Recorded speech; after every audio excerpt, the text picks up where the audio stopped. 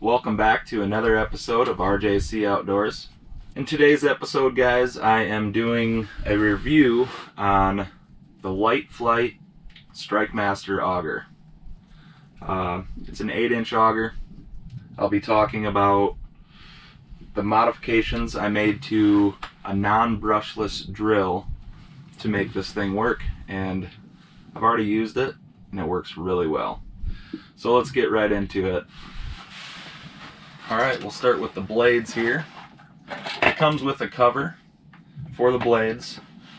The blades are chipper blades, and uh, neat feature I really like is that that point start. It really makes it so you're not weaving back and forth and possibly gonna chop a toe off. That guides you straight into your hole. Then we'll move on to the flights themselves. Uh, it's a hard composite plastic um, to really eliminate a lot of that weight that a lot of augers have. Um, I'm not sure of the weight on it right offhand, but it is light. They come in separate sections, so just in case if one breaks, um, you could buy a replacement flight for it, and I think they're fairly cheap. Moving on to the head, you will need a half inch chuck. It also comes with this disc that's roughly 10 inches in diameter if you've got the 8 inch auger blade. Makes it nice so when you're drilling down and you go too far, this helps prevent it from falling down into your ice hole. I think we'll move on to the drill, the modifications I made on the non-brushless drill to uh, really make this work. I'm actually doing some fishing right now and there's a fish under one of my jigs. That's why I figured I'd do the review because I'm not getting a whole lot of action right now. Moving on to the drill. The modifications I made to it, it did not come with a half inch chuck, so I added that. Um, you can actually buy these from hardware stores running roughly around $15. But I had a buddy that had a drill that took a poop on him, so I pulled it off his drill. It's a half inch chuck. It's a Craftsman drill. Uh, it is not a brushless.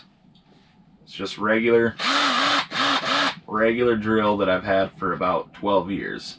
Sitting around, so I don't use it much, but other than to screw a few screws into the wall here and there. Don't use it much, so I figured I'd... Oh, here we go.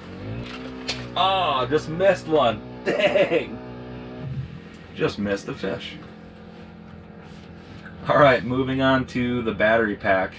Um, since this was sitting for a good 12 years, uh, the batteries go bad in them after about three, four years. They don't hold a charge. And uh, so yeah, I made an upgrade on my battery, which is a lithium ion 9.2 volt for this drill to pair it up with this drill.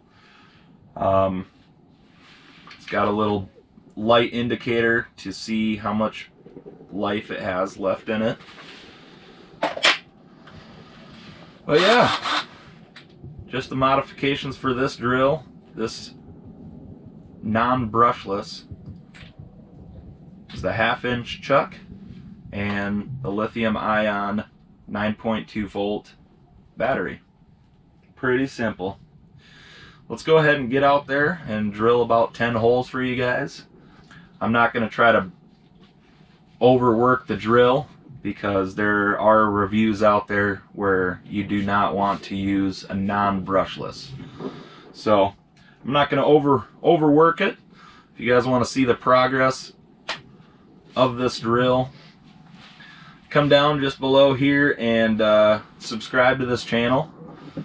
Um, go ahead and rate it. Give it a thumbs up or a thumbs down, depending on the review. And uh, maybe leave me a comment too, because I'm open for suggestions. I know a lot of people probably are going to recommend a brushless drill, but I'm going with this because this is what I have, and I only have $30 invested in the battery pack. So let's get out there. Let's drill some holes for you guys.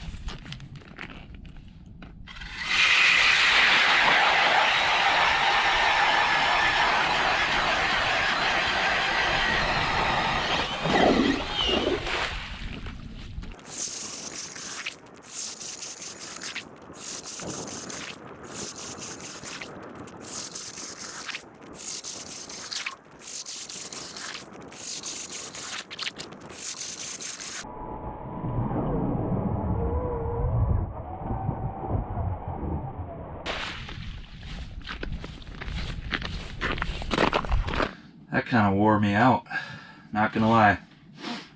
So let's go through uh, the after using it review here. One thing I've noticed is this bit gets loose. Um, I really don't know if it's just the torque or what. Um, I know that I do have to retighten that Allen bolt um, after drilling about 10 holes.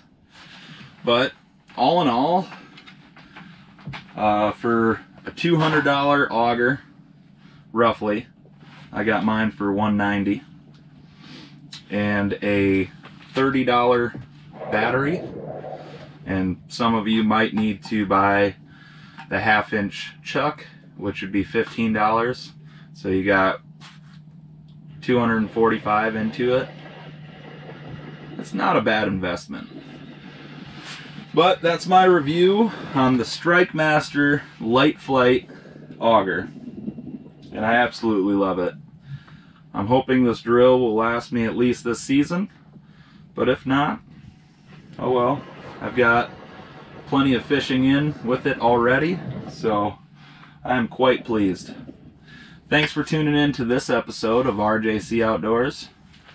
We'll see you guys on the next one.